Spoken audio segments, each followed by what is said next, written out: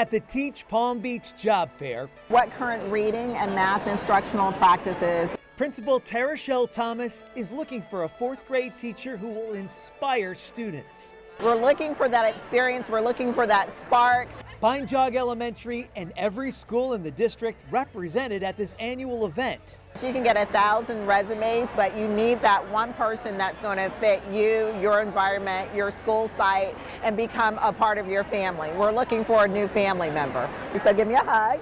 After a long interview at the South Florida Fairgrounds, Principal Thomas found her match. Welcome to the family. Kimberly Heikkinen Oh my God. celebrates her new position. Yeah, I think I found the right school. I told her I was gonna pop. She's like, no, don't pop.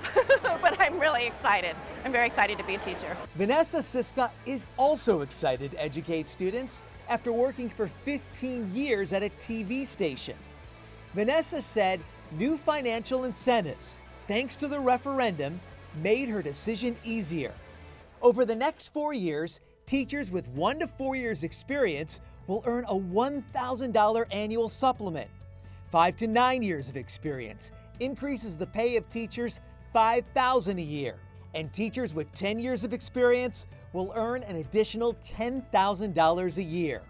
What does that mean? better teachers, better education, better kids. The, the kids get better education, and um, the school succeeds. So it's, I think it's a win-win. It's got to be a positive. Vanessa also walked away with a job at Teach Palm Beach.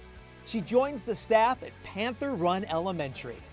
The day started with 300 vacancies at area schools. More than 200 people received jobs and more are available. It's an exciting time, and this is the we're on the the fun part of this job and getting you know really great teachers into our classrooms.